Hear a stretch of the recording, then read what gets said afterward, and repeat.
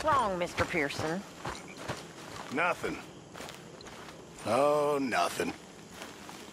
Well, then why do you look like a beaten dog? Because... I don't know, it's hard to say. The mud? The swamps? Do you know I once saw the Cape from a 40-foot swell? I once crossed the equator during a meteor shower. I rode into a harbor surrounded by beautiful maidens selling pineapple and colors. Colors so brilliant they burn your eyes.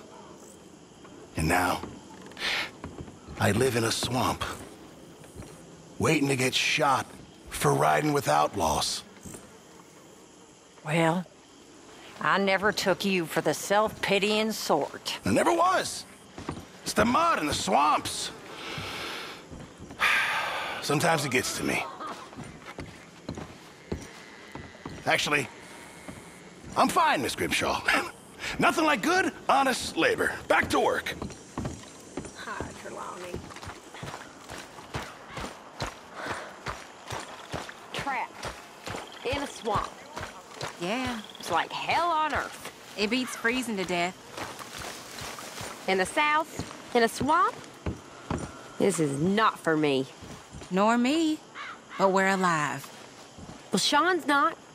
Jenny, Mac, Davey. Folks always die, Karen. You and me will die. Trick is to enjoy it while you're alive. That's the trick of it. Well, I haven't mastered that bit.